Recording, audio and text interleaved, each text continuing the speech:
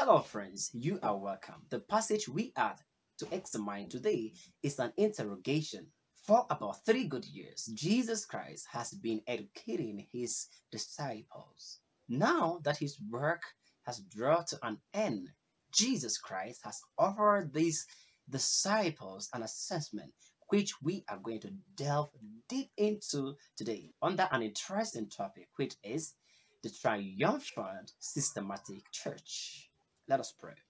Everlasting God, we thank you for this day. We thank you for your love. We thank you because you are our God. We thank you because we have no any other God but thee. And we pray, we commit the scriptures. We commit the preacher. The Lord, may your Holy Spirit lead me. And may you open the heart of my brethren to be able to listen and accept the power of your word. In the name of God the Father and the Son and the Holy Spirit, I pray. Amen.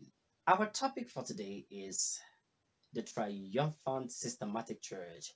And our text is uh, Matthew chapter 16, verses 13 to 20. Now, let us read the scriptures and hear. Matthew chapter 16, verses 13 to 20. It is saying, When Jesus came to the region of Caesarea Philippi, he asked his disciples, Who do people say that the Son of Man is? Well, they replied, some say John the Baptist, some say Elijah, and others say Jeremiah or one of the other prophets. Then he asked them, But who do you say I am? Simon Peter answered, You are the Messiah, the Son of the living God. Then Jesus, You are blessed. Jesus replied, You are blessed, Simon, son of John, because my Father in heaven has revealed this to you. You did not learn this from any human being.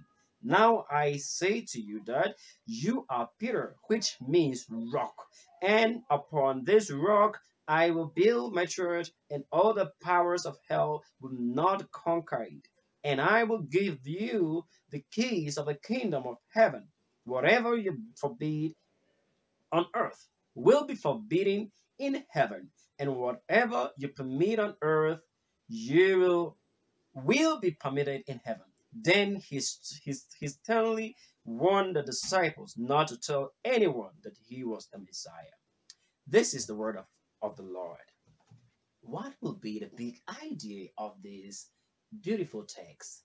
The big idea of this beautiful text, which will be our main point of focus, is that Jesus is the Messiah, the Son of the living God.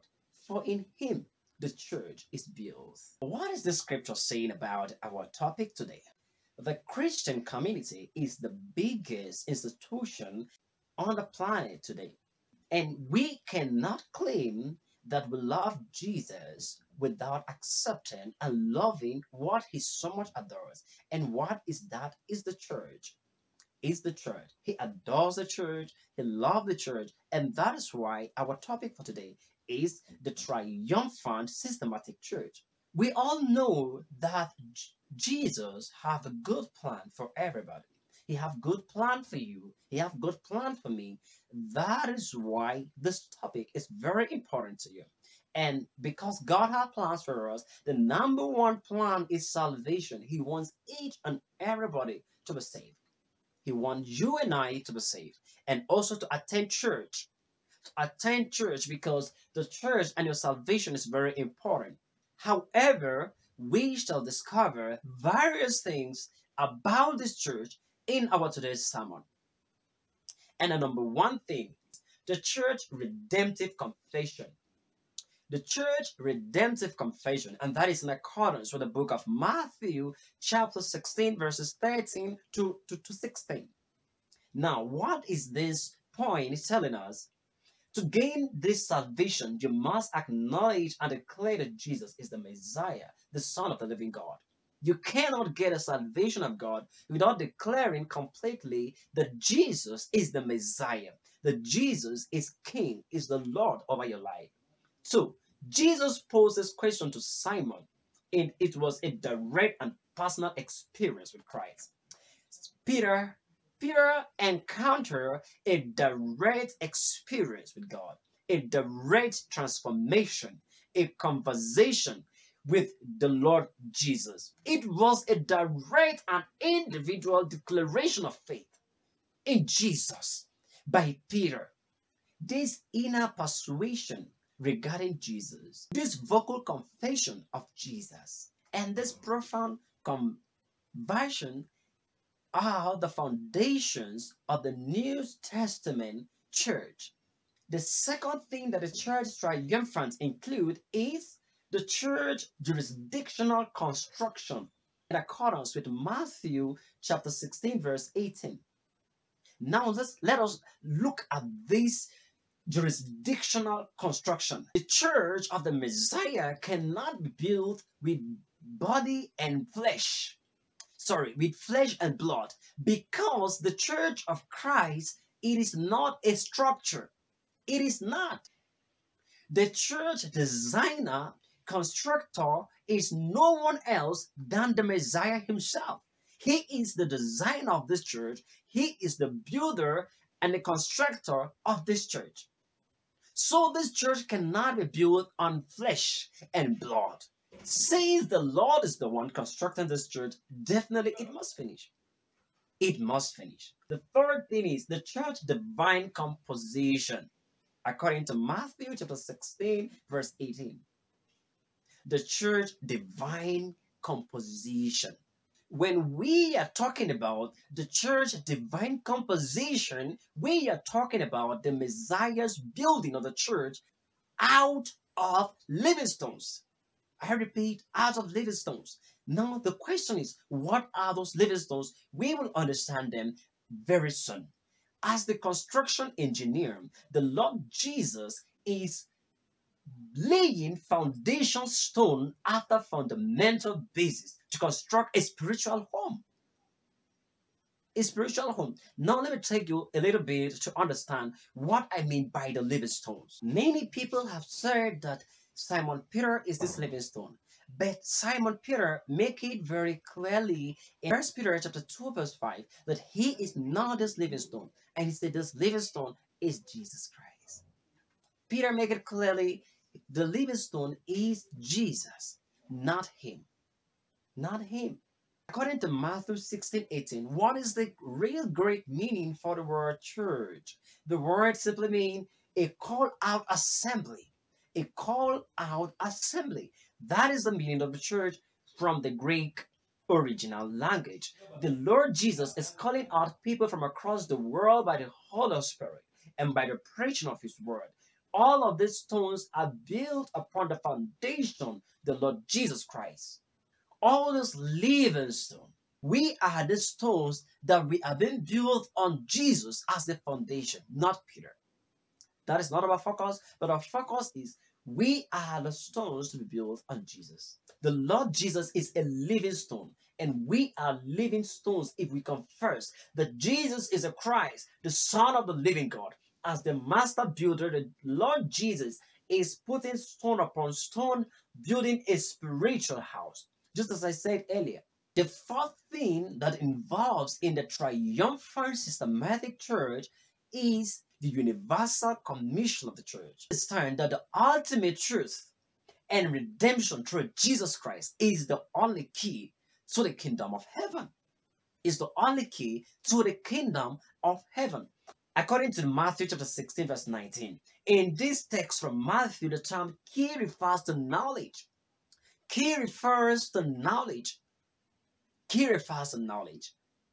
So, the ultimate truth about Jesus, the gospel truth about Jesus, that is the gospel knowledge. That is the knowledge about Jesus and the power of his redemption. It is a true key to the kingdom of heaven The kingdom of heaven. Who am I according to you? Because Peter has observed the works of Jesus. Peter has walked with Jesus. They have eaten and they have dined and wine with Jesus. Now, this is a question. I've been together with you. According to you, who do you think I am? The fifth theme that involved in the triumphant systematic church is the church established conclusion. Matthew chapter 16, verse 18. The church established conclusion, and that is the conclusion that we are going to look at now. What is the conclusion that the church established? Listen to it. Number one, the term Hades is used to denote the word hell in this verse. That is in Matthew 16, 18, the word Hades is used to denote the word hell.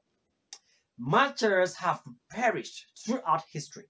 But our Savior will return one day, as well as the disease in Christ will resurrect first, and the forces of darkness will not triumph against the triumphant systematic church.